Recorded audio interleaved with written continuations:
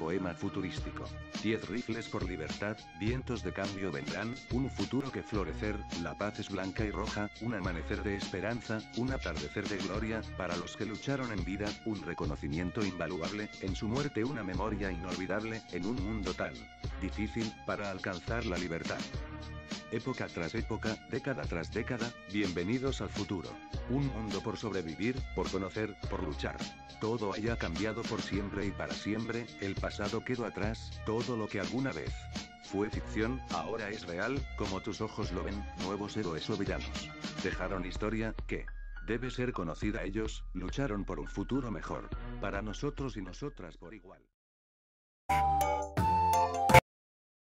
Sean bienvenidos a Sociedad Zombie. Comenzamos de una vez, amigos. Hola, amigos. Hablaremos de los dormidos deben despertar a la fuerza si es necesario. Cuando digo la fuerza, no me refiero a que usemos armas y los obliguemos a que despierten a la fuerza, no. Me refiero a que debemos informar constantemente en las redes sociales sobre lo que pasa realmente en el mundo. De esa forma, les demostraremos a los dormidos que lo que pasa en la realidad son cosas reales y ciertas. Y debemos constantemente compartir todos los videos de temas importantes e interesantes, de misterios y de conspiraciones y de verdades que deben decirse y realizarse. Y en Facebook constantemente hay muchos, muchas y muchas y muchas imágenes reflexivas contra la mala sociedad y contra el mal gobierno.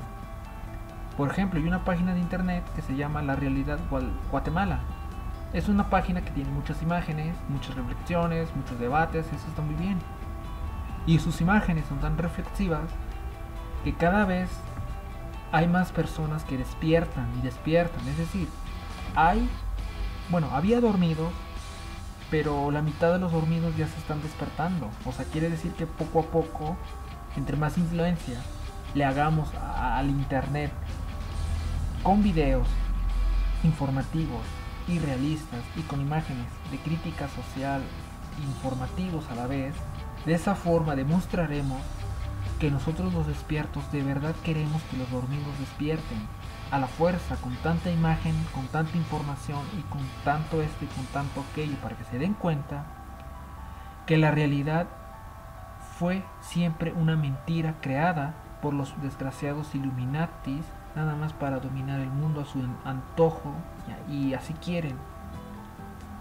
Pero lamentablemente tanto esfuerzo en hacer eso vale poco. O sí vale mucho, pero es que si se fijan, en las calles yo veo muchas personas con sus celulares agachadas viendo el celular. Eso es como una especie de control mental.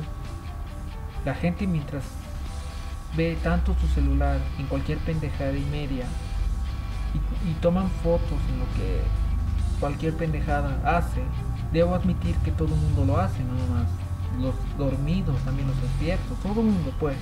Eso ya es una costumbre, aunque negativa, pero ya es una costumbre.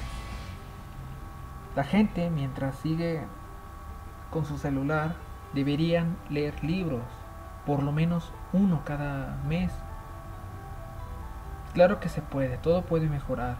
Simplemente es la voluntad de los, de los dormidos. Si los dormidos quieren despertar, es su voluntad. Si quieren, sí. Si no, que se joda. Así de simple.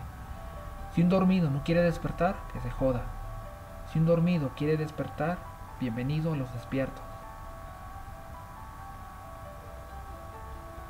Pero algún día las cosas van a cambiar. Los despiertos se darán cuenta de que los dormidos si pueden despertar, simplemente se les requiere un chingadazo en el culo para que despierten a la fuerza o de a huevo.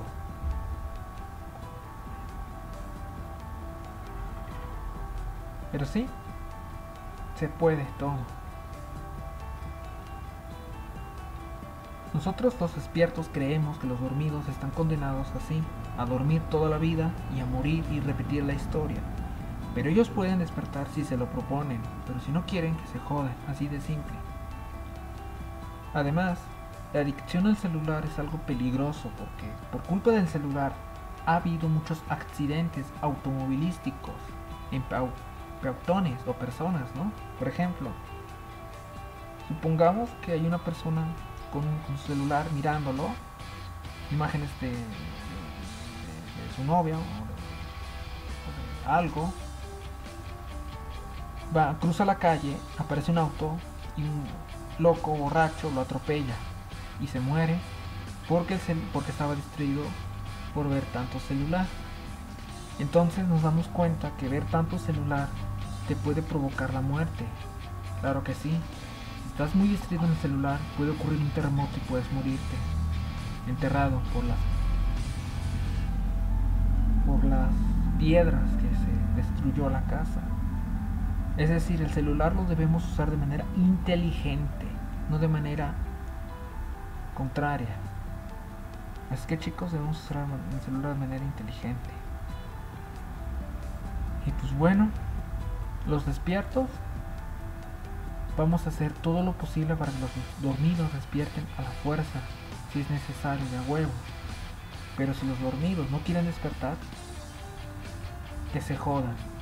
Porque ellos, los dormidos, están condenados a repetir la historia y a morir mil veces. Y nosotros los despiertos vamos a evolucionar, vamos a mejorar nuestra sociedad. Porque nosotros los despiertos queremos un mundo mejor para todos y para todas las futuras generaciones. Así que adiós.